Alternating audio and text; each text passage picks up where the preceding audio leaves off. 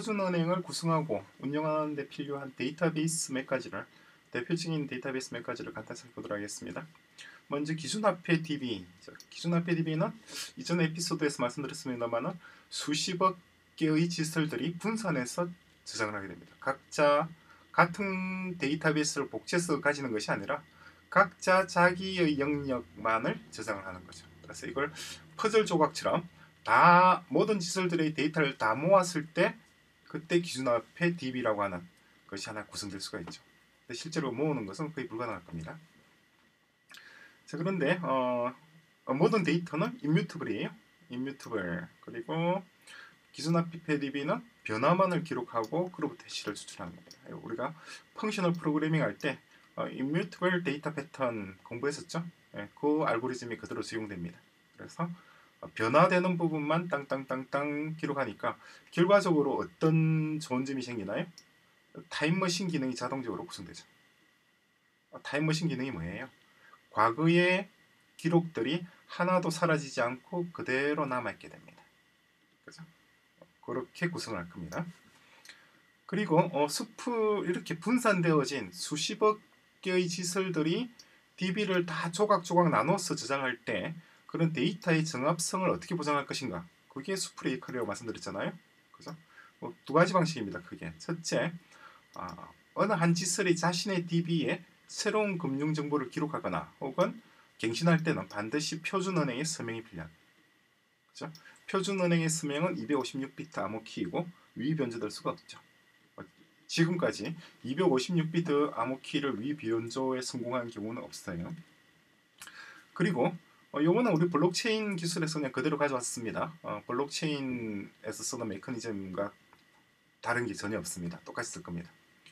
그리고 어, 지설은 자신의 DB를 수풀에 백업을 해야 합니다. 반드시, 반드시 백업해야 돼요. 그런데 그렇다 하더라도 수풀은 어, 자신이 저장 중인 특별 개별 지설들의 어떤 DB를 열어볼 수는 없어요. 그래서 어, 특정 지설의 정보는 해당 지설만 접근할 수가 있도록 그렇게 구성을 했습니다. 자 그러면은 수풀이 개별 지설의 데이터베이스에 접근할 수 없는데 없는데 어떻게 개별 지설이 기록한 정보가 참이란 것을 알 수 있느냐?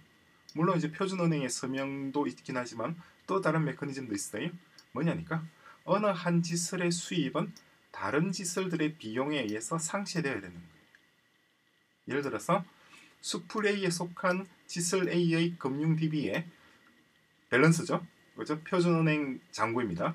표준은행 잔고가 어, 100리만큼 정액을 하려고 한다. 그죠?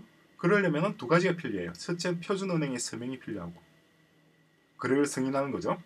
두 번째는 반드시 지슬 A의 수입에 대응하는 다른 지슬들의 비용이 있어야 된다는 거죠. 그럼 다른 짓을 누가 그런 비용을 발생할지 누가 어떻게 아느냐는 거죠. 어떻게 알 수 있죠? 생각해 보십시오. 짓을 A의 플러스 100에 대응하는 마이너스 100, 그죠? 마이너스 100립이라고 하는 회계 정보를 기록할 지슬이 지구상 어디에 있는지 어떻게 알 수가 있죠? 그거는 바로 수풀들의 통신에 의해서 알 수가 있죠. 무슨 말이냐니까 지슬 A와 예를 들어서 지슬 B가 서로 소통하려고 한다. 한국에 있는 지슬 A와 일본에 있는 지슬 B가 서로 거래를 하려고 한다. 그럼 어떻게 하나요?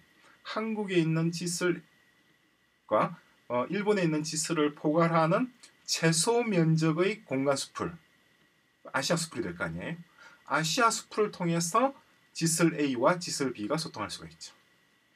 그죠? 애시당초 짓을 두 개가 만나기 위해서는 반드시 수풀을 거쳐야 돼요. 그죠? 근데 어떤 수풀이 어떤 지설들의 소통을 중지할지는 그 지설들의 고향 수풀이 무엇인지에 따라서 달라지게 됩니다. 만약에 제주시 한경면에 소속된 두 수풀 간의 소통이 이루어지려고 한다면 그때는 한경면, 제주시 한경면을 관할하는 수풀이 통신의 중지자가 되는 것이고 그죠? 한국에 있는 나와 필리핀에 있는 누군가가 서로 거래를 하려고 한다. 그러면은 한국과 필리핀을 포괄하는 공간 수풀이 그러한 소통을 중지하게 되는 거죠.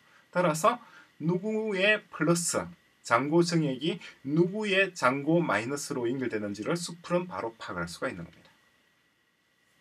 그렇죠? 그래서 제로섬을 반드시 구성을 해야 됩니다. 이것이 기준 화폐 DP의 무오류를 보장하는 두 가지 메커니즘입니다. 그죠? 그리고 데이터베이스는 기준 화폐 DP만 있는 것이 아니라 표준 화폐 DB도 있고 국제화폐 DB도 있어요. 표준 화폐 DB는 어, 표준은행이 발행한 주식 각각의 소유자와 가치 변동을 기록하고 국제화폐 DB는 뭐예요?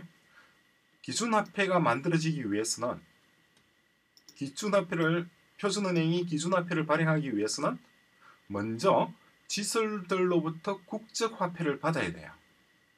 그 국적 화폐가 한국 원하든 일본 엔하든 미국 달러 하든 어쨌거나 블록체인 뭐 비트코인처럼 하늘에서 뚝 떨어지는 게 아니에요 가치가 반드시 국적화폐를 기준자산으로 해서 그에 상응하는 환율만큼의 기준화폐가 발행될 수가 있어요. 그죠? 그러니까 기준화폐의 가치는 자산담보부, 자산담보부 cryptocurrency, asset-backed cryptocurrency라고 우리가 표현하잖아요.